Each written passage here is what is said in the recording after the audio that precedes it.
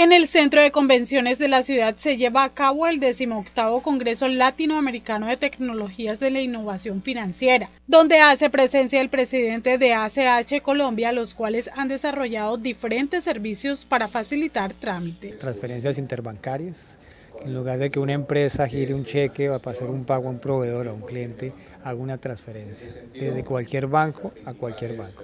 Ese es el primer servicio que lo usan mucho las empresas y viene creciendo en volúmenes importantes.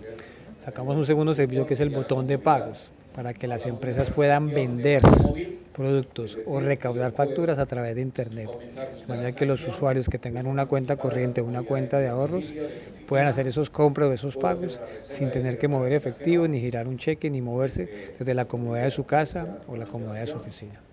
Y el tercero que se espera sea lanzado a finales de este año es transferencias inmediatas, inicialmente de persona a persona. Es decir, si usted quiere mandarle dinero a un familiar, a un amigo, puede a través de su dispositivo móvil, seguramente que le ofrezca al banco, enviarle dinero en menos de 10, 15 segundos.